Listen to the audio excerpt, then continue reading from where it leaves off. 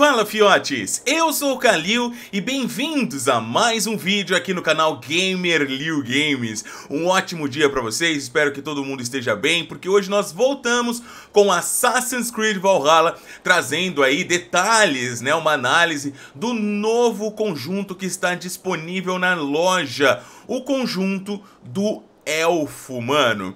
Ah, já, ó, antes da gente começar, como sempre, vocês estão ligados que o Kalil é pidão mesmo, mas não é por pedir simplesmente, pessoal, é porque realmente ajuda muito o meu trabalho. Então, por favor, deixa aquele like, velho, deixa aquele like matador para auxiliar o nosso trabalho, para fazer com que o nosso vídeo seja elevado na plataforma, né? Só você consegue nos ajudar assim. Então, por favor, enquanto eu estive falando aí, se você foi lá, obrigado. Quem ainda não foi, vai lá e deixa, tá bom? Se ainda não for um inscrito do canal, seja muito bem-vindo também. Conheça o nosso conteúdo, dá uma olhada, espie os vídeos, participe das lives também, né? Gostando, mano, se inscreva, vai ser um prazer ter você aqui, a sua família também acompanhando o nosso trabalho, tá bom? Bom, pessoal, é isso aí, como eu tava falando para vocês, na loja agora apareceu esse novo conjunto, tá? Vamos lá, deixa eu mostrar ele para você aqui, ó. É o conjunto do Elfo Superior.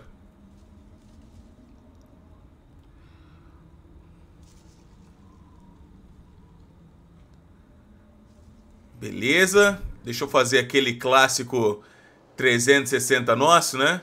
Para você ver a armadura num todo. Já vai apreciando aí também.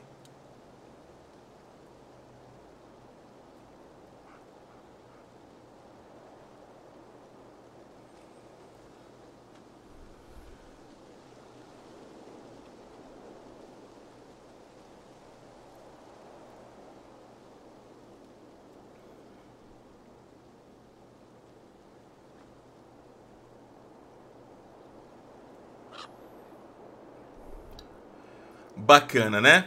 Bom, vamos lá.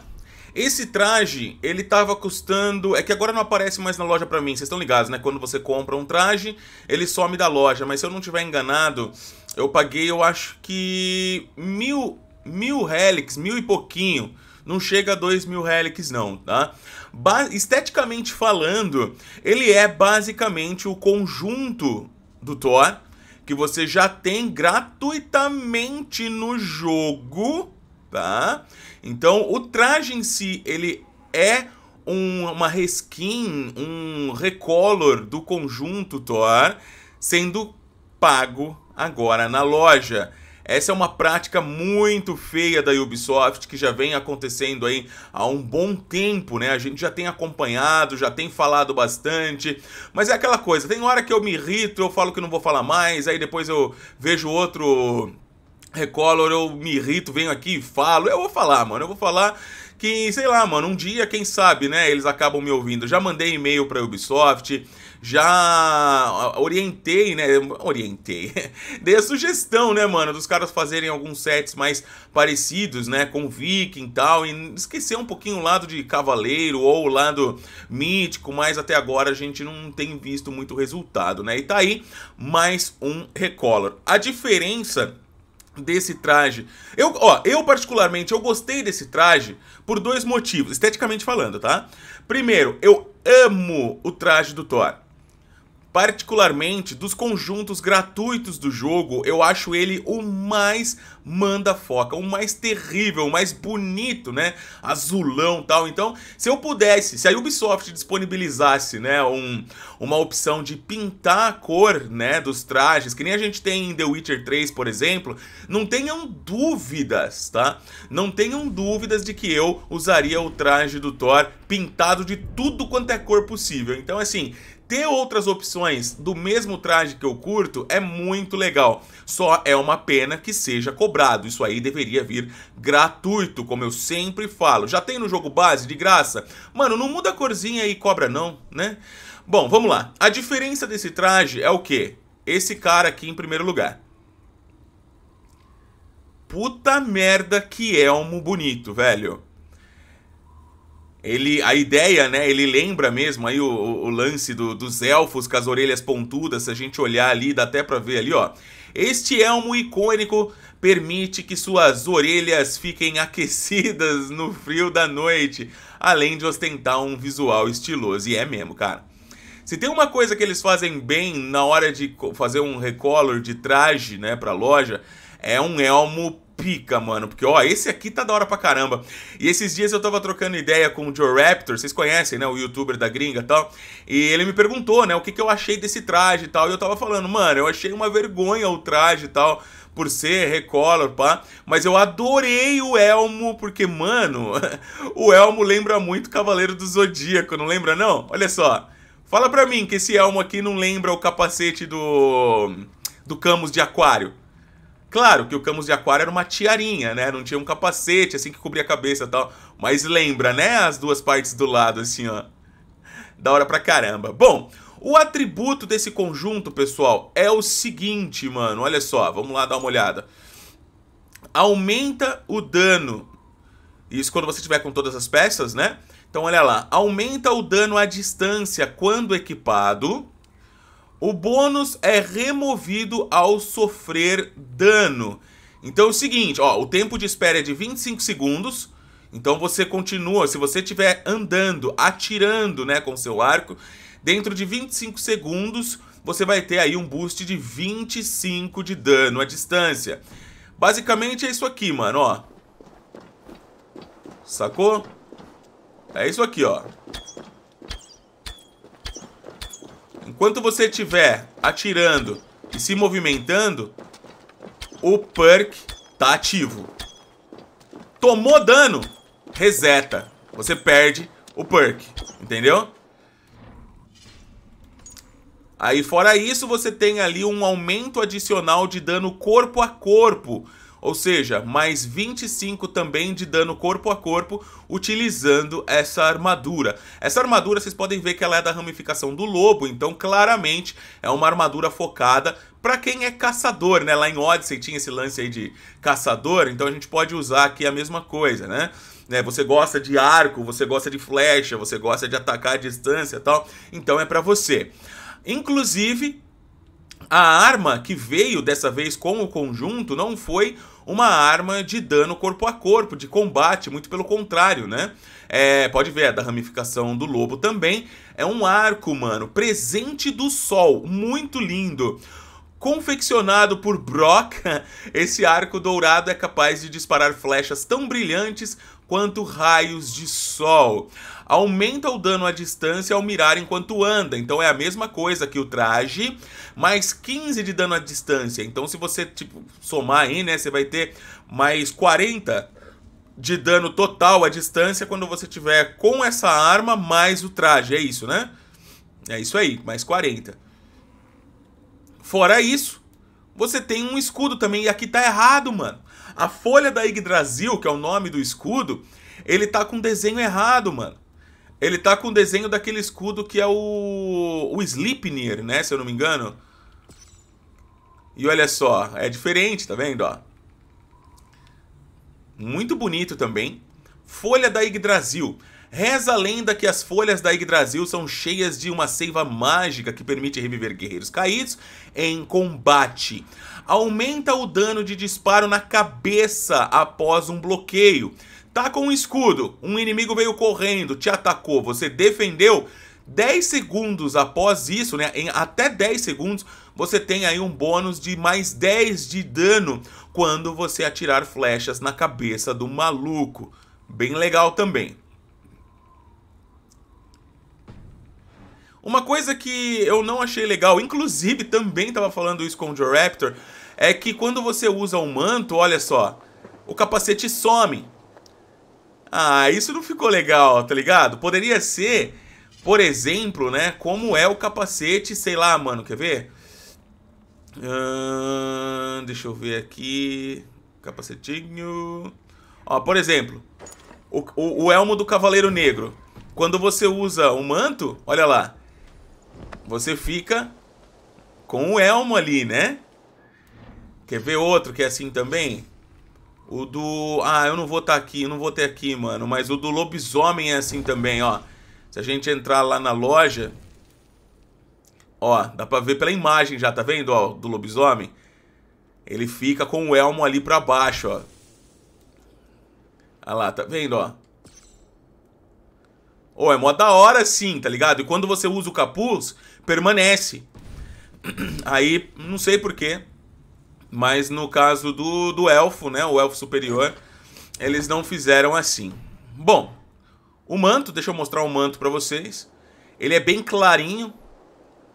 Tem uma, uma Yggdrasil ali, parece, né, ao fundo. Parece, não tenho certeza.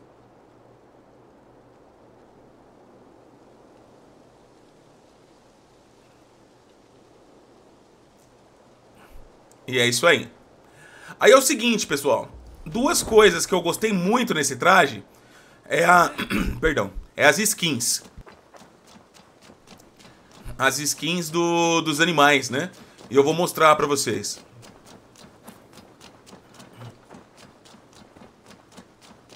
Eu achei bem legal mesmo. O que você tem pra mim hoje? Ó, dessa vez nós temos dois animais é, espectrais, né? O unicórnio celestial. É, eu sei. Quando foi que Assassin's Creed virou isso aí? É, eu, eu, eu sei, eu entendo. Mas olha aí. É, unicórnio celestial. E também nós temos a Leidars Jarna, que também é um corvo espectral. Mais nada para hoje? Preciso ir. Até breve. Tchau. Ó, aqui durante o dia... Deixa ele vir, ó. Você até vê ele e tal, pá. Mas esses animais, né, fantasmas e espectrais, são legais da gente usar à noite, mano.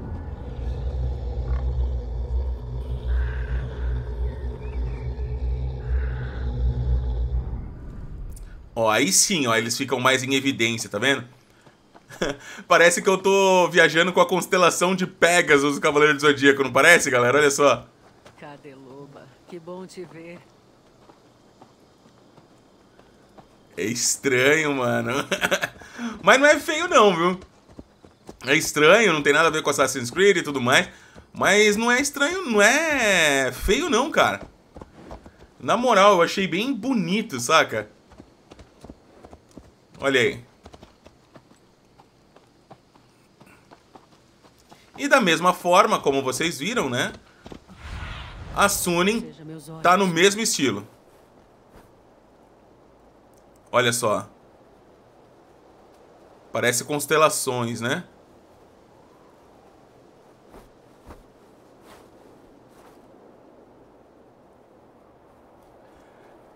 Na verdade, isso aqui parece o esqueleto de construção do personagem do jogo mesmo, saca? Do bichinho do jogo. Aí deixaram ele em evidência.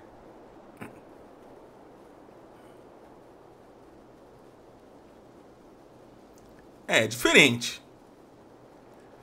Diferente. Mas eu não vou mentir pra vocês não, eu não achei feio. Achei bem interessante, na verdade. Eu sou aquele tipo de cara, mano, que durante o gameplay base, né, durante as histórias canônicas, né, eu sempre uso o que é canônico. Então eu uso a Eivor, eu uso um cavalo normal, eu uso uma Sunin normal, a padrãozona tal. Mas depois, né, quando a gente tá jogando por jogar, limpar mapa e zoando, ah, mano, eu acho da hora usar umas firulas dessa aqui, tá ligado? Só pra brincar mesmo. Caras, é tatuagem. Eu não sei se tem, mano. Deve ter, porque é um conjunto completo, né? Então, vamos dar uma olhada aqui na... Eu acho que tatuagem vai estar... Tá... Aqui, ó. Conjunto de tatuagem. Ó, tem mesmo, ó. Caraca, que bizarro! Eita, mano, parece o Groot. Nossa, mano, que bizarro. Olha aí, galera. Esse é o conjunto de, de tatuagem élfica representando a Yggdrasil mesmo, olha lá, ó. Deixe que as raízes da árvore da vida se estendam pela sua pele, dando-lhe força e sabedoria. Este conjunto possui tatuagens para cabeça, peitoral, costas, braço, enfim, tudo, né? Olha aí. Caraca, mano. Estranhão, né? É bem, bem, bem, é bem esquisito. Das costas é até legal. Mas do resto é bem esquisito. Com certeza também veio esquemas, né, de propriedade. Ó, barco. Isso aqui eu não peguei, tá? Mas ó, nós temos aí o, o, o barco, né, do do elfo superior também, caso alguém faça coleção de barco, tá aí, mano. Os escudos é o mesmo que você usa. Atrás, né, na cauda, tem a ponta de uma flecha. É... O acrostólio, né, a carranca, é uma árvore com um elfo dourado atirando. Bonito também. Achei bonito. Olha lá, ele atirando e tal. E é o tipo de coisa que a gente pega no Reda, cara. Na minha opinião, é o tipo de coisa que a gente pega no Reda. Tanto isso aqui, quanto as decorações, mano, ó. Pera aí, isso aqui é a mesma coisa que a gente tava vendo agora. Mostra detalhes? Não, não mostra. Cadê? Aqui, ó. Árvore élfica. Ó, vai ter também aquele mesmo elfo ali, ó. E nós temos o conjunto inteiro de assentamento. Deixa aparecer aí, ó. Tem du duas, duas estátuas daquele mesmo elfo, uma para você colocar em qualquer lugar do assentamento e outra na árvore. Uh, tem aqui um lugarzinho para beber água, que parece. Umas fontes. Aquele lance de Valfenda, tá ligado? Mas é isso, caras. Basicamente, é isso, tá? É um conjunto que, na minha opinião, ele é muito bonito mas deveria estar vindo de graça. Isso eu falo em relação ao conjunto, tá? O traje, por ser realmente o conjunto do Thor, sem qualquer mudança, só cor. Né? O elmo é muito bacana, mas é algo que dá pra gente esperar vir no Reda. É, eu aconselharia vocês a esperar vir, tá? Já os animais são legais, as armas são legais, tatuagem não gostei, os esquemas de assentamento e dracar eu sempre ignoro, né? Mas é isso aí, pessoal. Deixa a opinião de vocês, essa é a minha. Eu gostaria de saber o que vocês pensam a respeito desse traje. Se pra você vale a pena, se pra você foi interessante, se pra você não é interessante também, se alguma coisa agradou ou se nada agradou, eu quero saber tudo a respeito do seu pensamento quanto a esse traje, beleza? Se você não deixou o seu like, deixa agora, é importante. Se não se inscreveu ainda, se inscreva e siga o Lil nas redes sociais, principalmente no Twitter, onde eu sou mais ativo, e também no Instagram, para conhecer os bastidores e ficar pertinho da gente, né? Sem dizer, sem contar também, né? Que lá acontecem sorteios exclusivos. Um forte abraço, tudo de bom, fiquem com Deus, até o próximo vídeo, se Deus quiser. Valeu!